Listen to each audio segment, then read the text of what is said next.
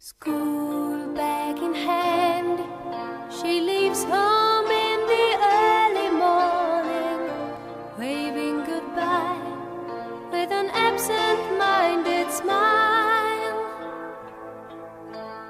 I watch her go with a search of that well known sadness, and I have to sit down.